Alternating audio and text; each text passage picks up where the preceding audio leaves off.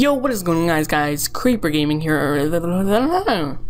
Yo, what is going on guys? Creeper Gaming here and welcome back to another video. Today I'm going to be showing you guys how to watch YouTube videos while playing a game on one monitor. So, here's how you do it. So, I'm just playing my game, whatever, but I want to watch a YouTube video, alright?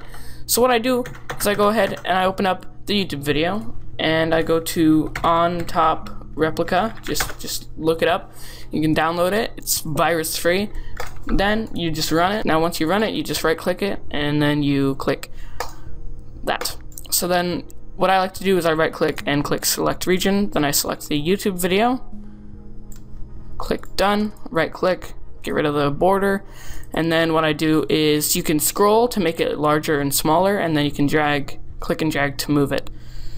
Now put it in the corner then I like to turn down the opacity. Uh, no, not that much, maybe that much, yep.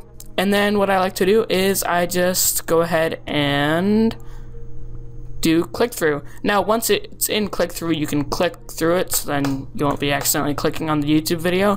To unactivate the click through mode because right now you can't you can't right click it. You can't right click it to deactivate the mode. So what you do is you click on OnTopReplica. And then you just go ahead and play the YouTube video and then go into your game and then there we go.